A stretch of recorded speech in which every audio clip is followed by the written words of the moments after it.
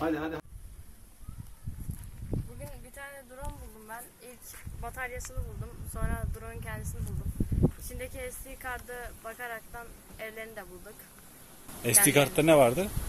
Video vardı bir tane evlerini çekmişlerdi. Oradan bulduk yani.